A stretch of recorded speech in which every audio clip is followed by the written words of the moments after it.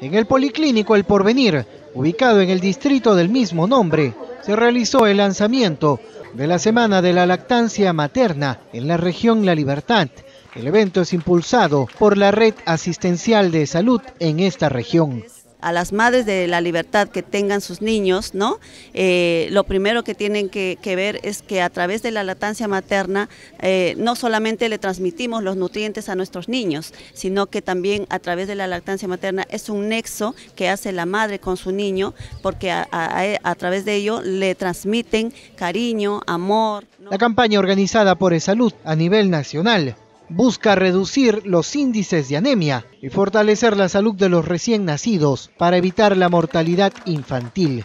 La responsable de la campaña médica recomendó a las madres no alternar la lactancia materna con leche en fórmula, debido a que podría afectar a los recién nacidos.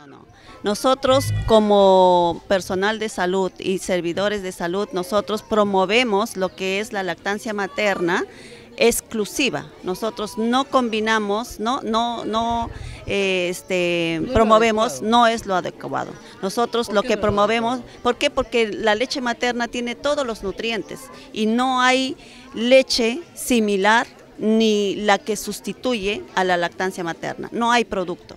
Durante la ceremonia de lanzamiento de la Semana de la Lactancia Materna, se realizó el tradicional concurso del Rey Mamón, donde participaron más de 20 niños y niñas.